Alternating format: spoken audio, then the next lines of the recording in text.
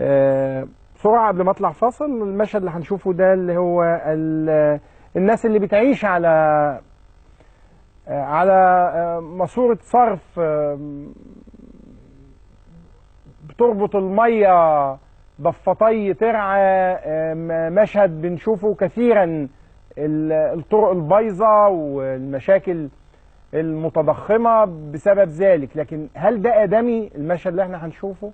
إن إحنا نسيب الناس تعيش على آه، آه، آه، تتنقل كبارا وصغارا وأطفالا ونساء ورجالا على ماسوره بهذا الشكل.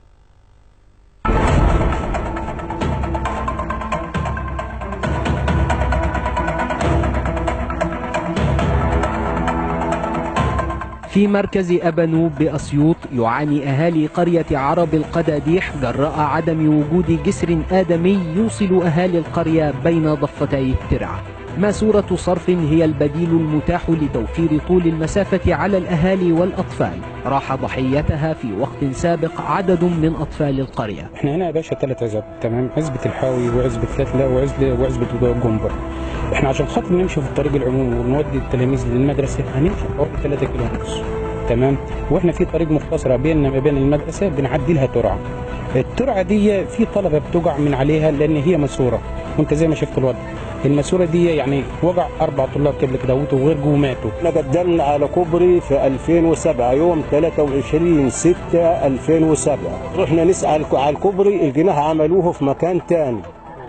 فرحنا المحافظة وقالوا اكتبوا طلب من جديد. كتبنا طلب من جديد وجينا مضين عليها رئيس الوحدة المحلية والسيد المحافظ والسيد مدير الغاية.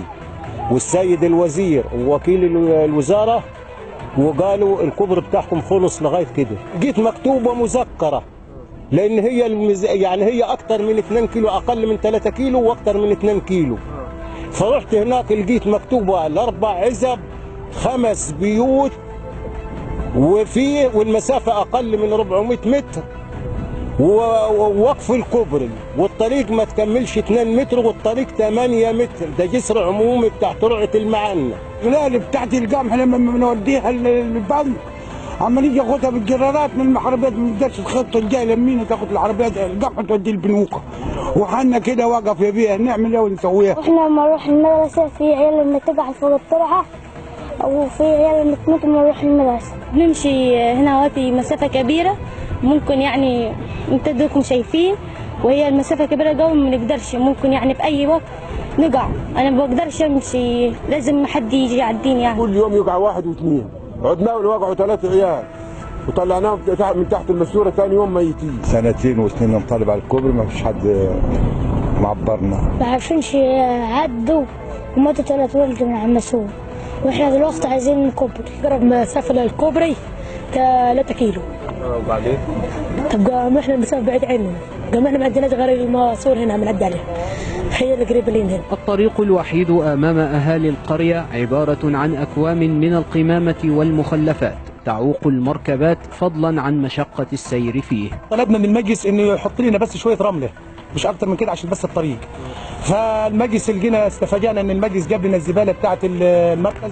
وزبالة ال- ال- ال- الدرشو وحطها لنا فيها بنابض وجزاز وسرن. سنجات كل دي سد الطريق ما نعرفش نعدي عاوزين كبر بس. والطريق اللي هم جايبين لنا زبالة وبتاع وحاطينه فيها ولا في جايبه عربيات تعدي عندنا ولا أي حاجة حتى لو حتى قرص ما فيش إسعاف عم تيجي الزبالة بتاعه المركز بيجوا يرموها عندنا هنا في أول الطريق. غير ان بيصعب الوصول لل- للطريق فاقل يعني من ساعة أو نص ماشي على- الجبال فلو في حالة مثلا تعبانة أو حد بيوضع بناخد فترة على ما نوصل للمكان ده. غير إن العربيات ما تقدرش تدخل هنا بسبب الطريق المكسر ده.